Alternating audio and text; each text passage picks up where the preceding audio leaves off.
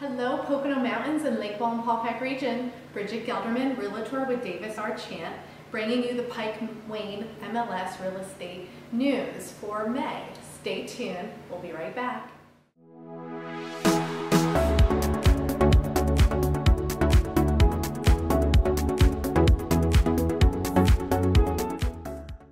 Hello, thank you for tuning in.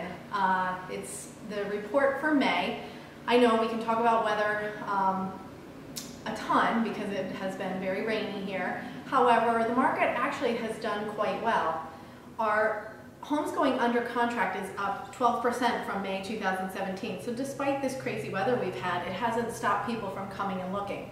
Our sold listings though are down 20% from this time last year, and we're only though down 6% year to date. I truly attribute this to a lack of inventory. I just think that people are looking for something that possibly isn't on the market at the moment. And we do have a lot of buyers out there, um, but the homes that are priced correctly are getting gobbled up.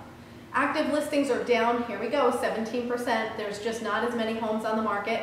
We have 327 less homes on the market um, from this time last year, and we're down 11% year to date. So that's definitely affecting our inventory and then our sold, list, sold listings. Our average days on market, good news, is down 16%, and we're down 12% year to date. So if a new home comes on and it's priced right, it's selling. Our average sales price is up 4% year to date at 169,000. We are hovering over that amount, so I'm hoping by the end of the year we break through and we get to the 170s and maybe even 180s. Our, absorp our absorption rate continues to decline. We're down 22%. Uh, year to date, we're at 7.1, so it would only take us seven months to sell off all of our inventory. And there was a time where it was in the teens, so that's very good news. Um, we're selling off inventory probably um, you know, 100 times faster than we were a couple years ago. Price ranges that saw the big increase going under contract, 200 to 250,000 is up 50% year to date, and 300 to 400,000 is up 36% year to date. Um, the one that's down, however, I will say it's only down year to date, is the 500,000 price range.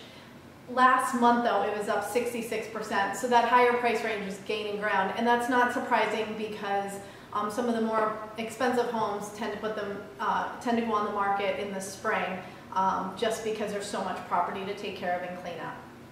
So that is a wrap on the statistics for May. If you have any questions or would like to review the market, I'd be happy to meet with you or do a quick phone conversation. If you're looking to buy or sell your home, please reach out. Thank you so much for liking my page on Facebook and for subscribing to my channel on YouTube. Bye.